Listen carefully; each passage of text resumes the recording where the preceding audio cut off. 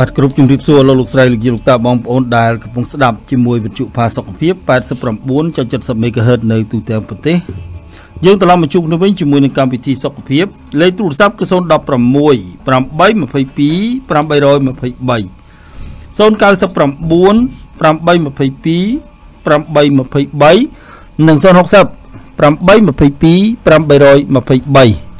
គ្រប់បញ្ហាដែលតកតងទៅនឹងសរីរាង្គកាយតាំងពីចុងសក់រហូតដល់ចុងជើងបាទលោកបាទជាមួយនឹងកម្មវិធីនេះសូមជម្រាបអស់លោកលោកស្រីយូតាបងប្អូនដែលមានគ្រប់បញ្ហាភ្នែកមិនថាភ្នែកឡើងបាយភ្នែកកតុយថ្លែនទឹកដក់ក្នុងភ្នែកភ្នែកមញោបដោយកុំព្យូទ័រឬទូរទស្សន៍ភ្នែកស្ងួតភ្នែកក្រហមឬមួយក៏រលាកបាតភ្នែកជាដើមអស់លោកលោកស្រីយូតាអាចប្រើប្រាស់អ៊ីសូទីន plus បានប៉ុន្តែ សូមអញ្ជើញមកពិនិត្យនិងពិភាក្សាជាមួយនឹងអ្នកជំនាញជាមុនសិនបាទឥឡូវនេះជម្រាបផងដែរថា Isotin Plus របស់យើងមានស្តុកធម្មតាវិញហើយបាទចឹងកំភៃរឿងដាច់ស្តុកយូរទៀតបាទហើយប៉ុន្តែ can របស់យើងនៅឡើយបាទស្តុកនោះវាមិនទាន់មកដល់បាទហើយអរគុណផងដែរសម្រាប់ការគ្រប់គ្រងនៅបញ្ហាសុខភាព បាទមិនគ្រប់គ្រង can ទេណាបាទទទួលទានទឹកដែលចេញពីធុងទឹកចម្រោះម៉ាក់ខេនមិនមែនដើម្បីខេនទេ គឺដើម្បីសុខភាពរាងកាយនិងសេដ្ឋកិច្ចគ្រួសារបាទព្រោះទឹកដំណក់ទឹកដែលចេញពីធុងទឹកចម្រោះម៉ាក់ខេននេះគឺជាដំណក់ទឹកដែលល្អស្អាតជាងគេបំផុតរបស់ពិភពលោកទទួលស្គាល់គុណភាពទឹកដោយស្ថាប័នធានាគុណភាពទឹករបស់អាមេរិកពួកគេបិទតែមាសនៅលើហ្នឹងហើយរាល់គុណភាពទឹកទាំងអស់គឺតេស្តដោយ NFS របស់អាល្លឺម៉ង់និង TUV ហើយក្រៅពីនោះធុងទឹកចម្រោះ Macan គឺមានការទទួលស្គាល់ដោយ ISO ទទួលស្គាល់ដោយស្ថាប័នដទៃដទៃទៀតរហូតដល់6របស់ពិភពលោកដែលនៅក្នុងហ្នឹងយើងមានអឺ leader ណែ for tomorrow of tomorrow ផងយើងមាន best raw purifier ផង certificate យើងមាន CE ផងណាយើងមាន NSF ផងហើយយើងមានវិញ្ញាបនបត្រដទៃទៀតដែលនៅក្នុងហ្នឹងមានតាំងពី Trust Brand Award មានតាំងពីអឺ Best Domestic Award របស់ឥណ្ឌាជាដើមដែលសិតតែជាវិញ្ញាបនបត្រល្អល្អធំធំរបស់អន្តរជាតិនិងរបស់ពិភពលោកបាទអញ្ចឹងប្រសិនបើអស់លោកលោកស្រីយកតាគ្រាន់តែទទួលទានទឹកដើម្បីឲ្យរាងកាយមានសុខភាពល្អគឺប្រើប្រាស់ can បាទហើយក្រៅពីនោះ Ken មានផលិតផលប្រមាណជាជាង60ប្រភេទ តាំងពីម៉ាស៊ីនបូមទូលីដែលផ្ដល់នូវខ្យល់បរិសុទ្ធព្រោះធម្មតាម៉ាស៊ីនបូមទូលីដែលយើងប្រើប្រាស់រាល់ថ្ងៃយើងមិនបាច់ដើរតាមក្រោយម៉ាស៊ីនហ្នឹងទេបាទហើយវាមានអាក្រិនអាក្រិនព្រំមកមិនគឺវាមកអញ្ចឹងណាប៉ុន្តែដែលឡែកឧបករណ៍បូមទូលី Mac Ken បានច្រោះខ្យល់ហ្នឹងមុននឹងរុញឲ្យដល់ច្រមុះយើង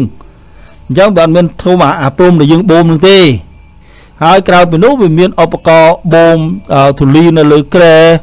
ដោយប្រើប្រាស់កាំរស្មី infra ឆ្ងាយដើម្បីសម្លាប់មេរោគនិងបាក់តេរី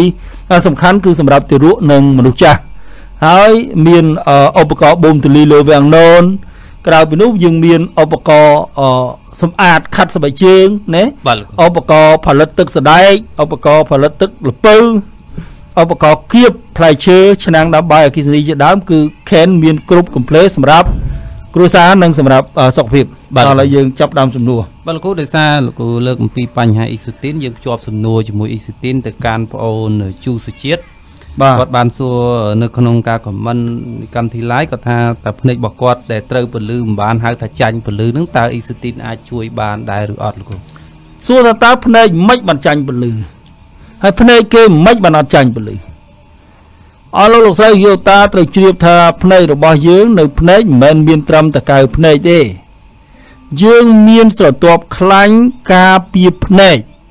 ហើយស្រទាប់ខ្លាញ់ការពារភ្នែកនោះគឺជាអ្នកទប់ពន្លឺយ៉ាងល្អប៉ុន្តែអ្វីដែលសំខាន់បំផុតអាស្រទាប់ខ្លាញ់ការពារភ្នែកនោះជួនកាលវាស្ងួតឬក៏វារលាកព្រោះកាលណារលាកថ្ងៃចាំងពលឺចាំងចំវាគឺវាហូរទៅភ្នែកមកហូរទឹកភ្នែកយ៉ាងមកដោយរបៀបថាគេហៅថាយើងដើរឃើញគោយំបាទគោយំគោហូរទឹកភ្នែកអញ្ចឹងណាបាទ ហើយមនុស្សដូចគ្នាយើងដែរគេអត់ធ្វើអីសោះយំដែរហូរទឹកភ្នែកមកច្រោកខ្យល់ខ្យល់សួរថាម៉េចបានទឹកភ្នែកវាហូរដោយសារតែនោះសន្ទាប់ខ្លាញ់នៅបាតភ្នែកនោះសន្ទាប់ខ្លាញ់នៅដែលនៅលើភ្នែកនោះវារលាកចឹងការរលាកវាមានបញ្ហានឹងកើតឡើងហើយចឹងប្រសិនបងប្អូនមានបញ្ហានឹងកើតឡើងអ្វីដែលជាការណែនាំបឋមគឺញ៉ាំទឹកឲ្យបាន3លីត្រក្នុងមួយថ្ងៃហើយព្យាយាមណែនៅពេលដែលយើងសម្រាកអញ្ចឹងយើងអាចប្រើប្រាស់តសក់អីក្របពីលើភ្នែកនឹងបាន បាទលោកហើយអាចប្រើប្រាស់អ៊ីសូទីនភ្លើបានប៉ុន្តែប៉ុន្តែនៅពេលណាដែលប៉ុន្តែអញ្ជើញមកអឺអឺជួបជាមួយនឹងអ្នកជំនាញគឺដាច់ខាតត្រូវតែរួចរាល់បានន័យថាខ្ញុំប្រៀបថារួចរាល់ហ្នឹងញ៉ាំទឹកឲ្យបានល្អទៅណាអឺអឺក្របតសក់ភ្នែកឲ្យបានល្អតិចទៅយើងដឹងតែអត្តផលអត្តពលមកយ៉ាងបាទលោកតែម្ដងអ្នកជំនាញផ្ដល់អនុសាសន៍មិញគឺព្យាយាមក្នុងការធ្វើតាមបាទបាទលោកគ្រូព្រោះបើអត់ធ្វើតាមទេអត់ជាទេ